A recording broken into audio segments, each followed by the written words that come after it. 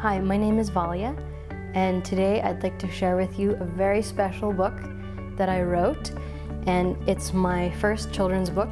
It's called Will You Love Me Still, and it's featuring my favorite cat right here.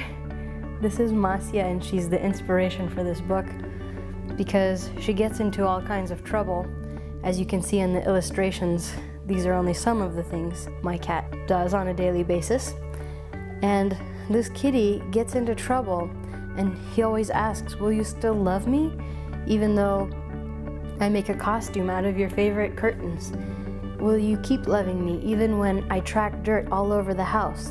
And it goes on and on, and the kitty keeps asking these different questions. And at the very end, the little girl answers, Oh, kitty, I will always, always love you no matter what you ever do.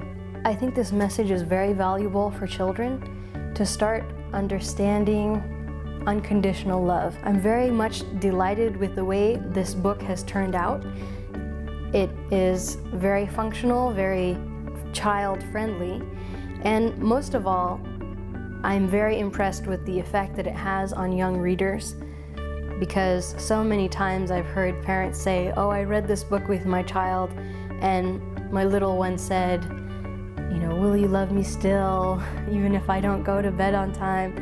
And it leads to so many wonderful discussions and conversations about very important subjects. And the second book I want to share with you today is brand new, hot off the press, and it's by my mother, and it's called I Love Greens.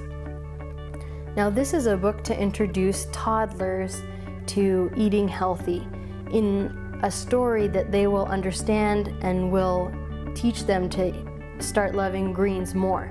Here we start with a bunch of different animals saying they all love greens.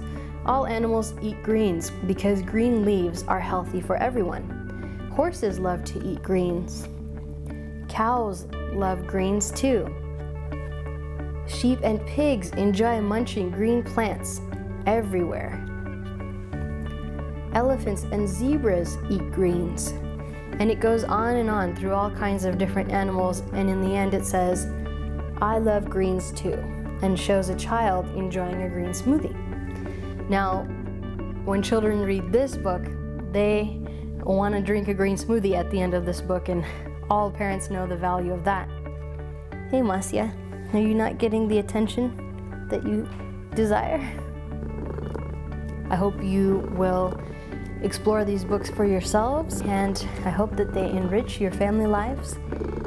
That is my sincere wish and the reason that my mother and I wrote these two books. So, thank you for your attention, and we'll see you next time.